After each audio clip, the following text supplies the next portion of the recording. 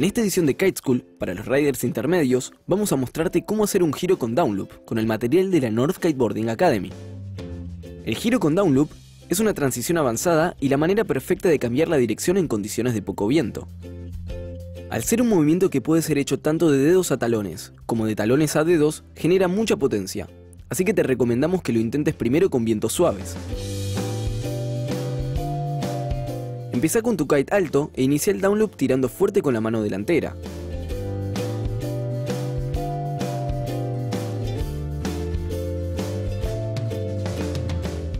Cuando sientas que la tensión en tus líneas aumenta, seguí tu kite downwind para disminuir esta tensión.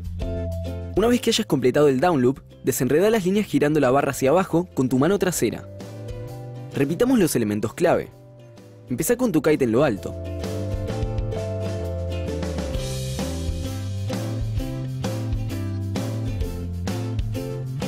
Inicia el loop con tu mano delantera tirando fuerte.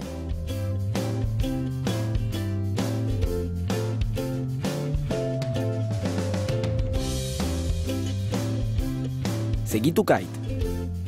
Disfruta de tu aventura con la North Kiteboarding Academy. Esperamos que esta información les resulte útil y recuerden siempre consultar con su instructor de confianza.